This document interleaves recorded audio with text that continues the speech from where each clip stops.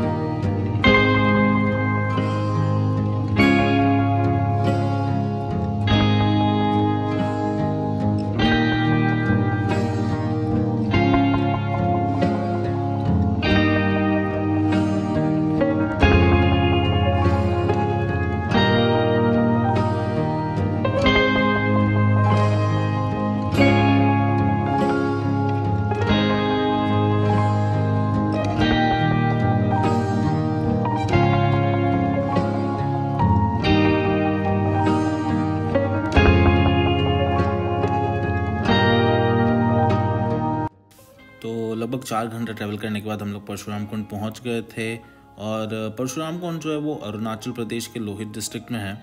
जिन लोगों को नहीं पता परशुराम कुंड जगह के बारे में तो मैं थोड़ा ब्रीफ में बता देता हूँ। जब भगवान परशुराम ने अपने माँ का वध कर दिया था अपने पिताजी के कहने पे तो उनका जो एक्स था वो उनके हाथ से चिपक गया था। और इसीलिए वो अपने पापों को धोने के लिए यहाँ लोहित नदी में आए थे। और जैसे ही उन्होंने नदी में बात किया, उनके हाथ से जो एक्स था वो छूट के निकल गया और तभी से इस जगह का काफ़ी ज़्यादा महत्व और दूर दूर से लोग यहाँ पे आते हैं पूजा करने के लिए